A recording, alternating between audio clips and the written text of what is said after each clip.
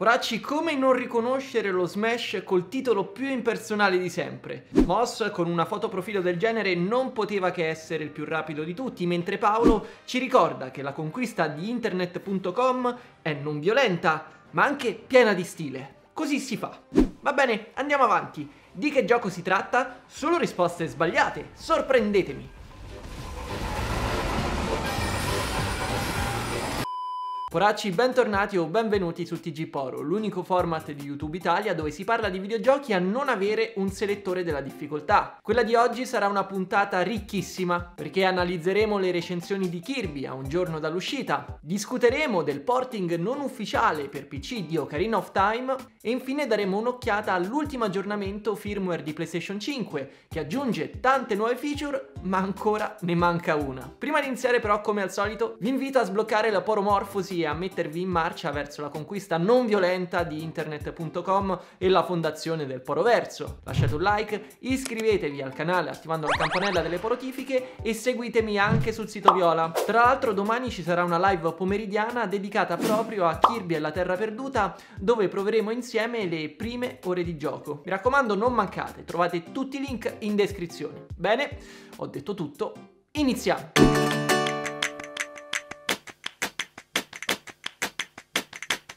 Bene, partiamo con qualche notizia al volo e c'è da dare un piccolo aggiornamento riguardante la chiusura degli shop Wii e DSi che la settimana scorsa sono improvvisamente morti e ci sono buone notizie, più o meno. Vi ricordate, no? Su Reddit gli utenti si sono resi conto che i negozi digitali di queste due console erano improvvisamente inaccessibili. In realtà si tratta di shop chiusi da anni, ma ora era diventato impossibile accedervi anche solo per riscaricare i propri acquisti. Una situazione non proprio piacevole per i pochi utenti ancora attivi su Wii e DSi. Comunque, Nintendo ha dato una risposta ufficiale in merito e no, gli store non sono stati chiusi definitivamente. Ci sono solo dei problemi tecnici e Nintendo sta lavorando per risolverli. È impossibile dire quando tutto tornerà alla normalità, ma direi che mi sembra non ci sia fretta di risolvere una situazione che interessa una fetta molto circoscritta di utenti. Ricordatevi però che prima o poi Nintendo i server li chiuderà definitivamente. Vi ricordo poi che il 7 aprile sarà pubblicata la remaster di Chrono Cross,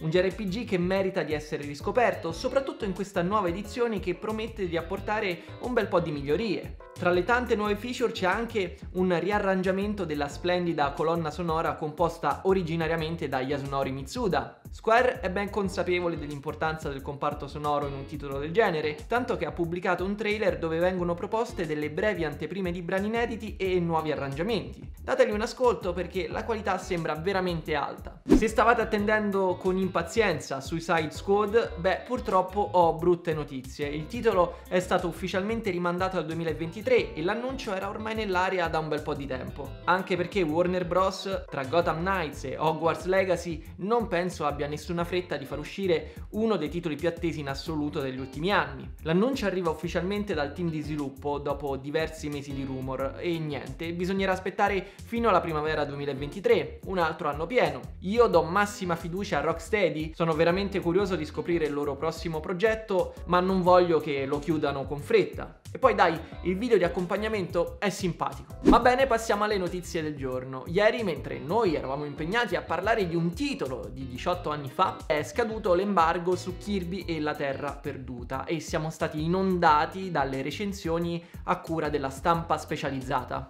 Qual è il verdetto intorno al titolo? In maniera piuttosto prevedibile, Kirby la Terra Perduta si porta a casa una serie di consensi entusiastici. Un po' come ne avevamo già parlato in live, era prevedibile che il titolo si sarebbe posizionato intorno all'80-85 su Metacritic e che si sarebbe trattato del classico gioco che fa il suo senza eccellere particolarmente in nessun campo, ma che comunque è in grado di esercitare interesse su un vasto pubblico, dai giovanissimi fino agli adulti. E insomma, non dimentichiamoci che si tratta del primo episodio della saga ad essere completamente in 3D, un passaggio atteso ormai da due decenni dai fan della serie e fa veramente piacere scoprire che in realtà si tratta anche di una sorta di ritorno ai picchi qualitativi raggiunti con Planet Robobot, uno dei titoli preferiti in assoluto dalla fanbase. C'è però un aspetto che sembra aver diviso in due giudizi e riguarda la difficoltà complessiva dell'esperienza. Aspettiamo ovviamente di provare con mano Kirby e la Terra Perduta, ma sono sicuro che questo sarà il focus principale della discussione attorno al gioco. L'eccessiva semplicità è necessariamente un punto a sfavore di una produzione oppure possiamo pensare che ci si possa divertire con un titolo che non mette esplicitamente alla prova l'abilità del giocatore? C'è insomma una via di mezzo tra i Souls-like e le visual novel? Secondo me sì, e non vedo l'ora di poterne discutere assieme a voi una volta approvato il nuovo Kirby. Voi intanto però ditemi, che idea vi siete fatti dalla demo e da questa prima ondata di recensioni? Pensate che si tratti di un gioco troppo facile e indirizzato solo a un pubblico di bambini? Bene, rimaniamo dalle parti di Nintendo, ma iniziamo a muoverci in una zona grigia, perché bisogna parlare assolutamente di un progetto fan-made di cui in realtà vi avevo già accennato in passato, ovvero il porting non ufficiale per PC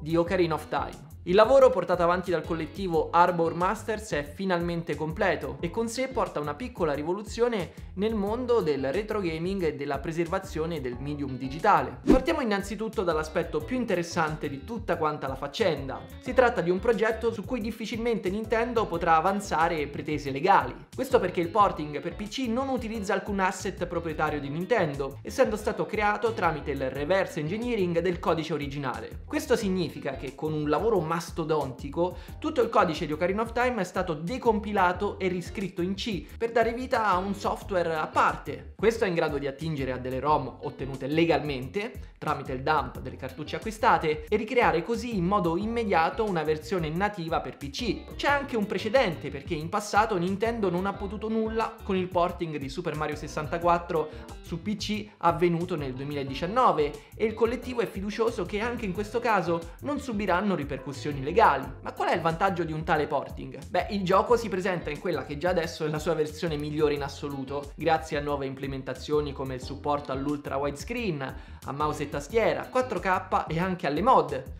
C'è già chi sta lavorando a pack grafici aggiuntivi, a nuove texture e modelli e anche a implementazioni folli come il ray tracing. Tra gli aggiornamenti futuri sono stati promessi il supporto ai 60 fps, nuovi sistemi di controllo col doppio analogico e anche versioni pensate per Linux e Mac. Tutto ovviamente gratuito, mentre sulle versioni ufficiali a malapena si riesce a renderizzare la nebbia. Ma questa è un'altra storia.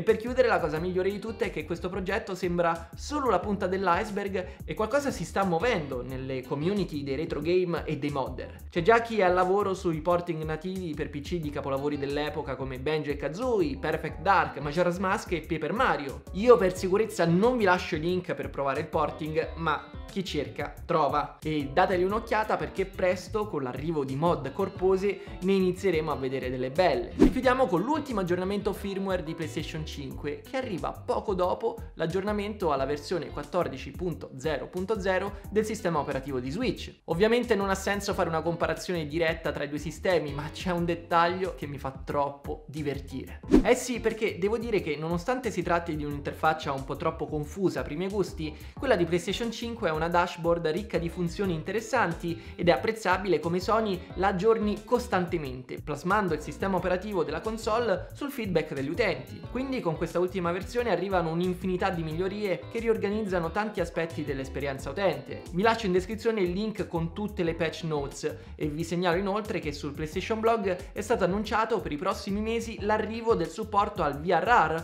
ovvero il Variable Refresh Rate, una feature molto richiesta dagli utenti che dispongono di monitor o televisori compatibili con l'HDMI 2.1. In ogni caso però la cosa che mi fa morire è che nonostante tutti i passi in avanti fatti con l'ultima versione, su PS5 mancano ancora le cartelle. Per una volta Nintendo è leader incontrastata del settore. Ci sono voluti solo 5 anni, ma ora possiamo dire che Switch ha una funzione che PlayStation 5 non ha. Ma qui la situazione si è ribaltata completamente. Comunque, se avete una PS5, ricordatevi di aggiornare la console. Questo firmware update è parecchio corposo. E questo poracci era tutto per oggi. Vi ringrazio per essere arrivati fino in fondo e vi aspetto qua sotto nei commenti per continuare a discutere delle notizie del giorno. Noi ci vediamo domani con un doppio appuntamento, sia un video e si tratterà di un'altra retrospettiva, sia una live dedicata alle prime ore di gioco di Kirby e la Terra Perduta che avrà inizio verso le 16. Mi raccomando non mancate perché sarà una giornata poraccia al 100%. In ogni caso voi fate i bravi, riposatevi, ma soprattutto nerdate duro. Io sono il Poro Kirby, Michele Porting,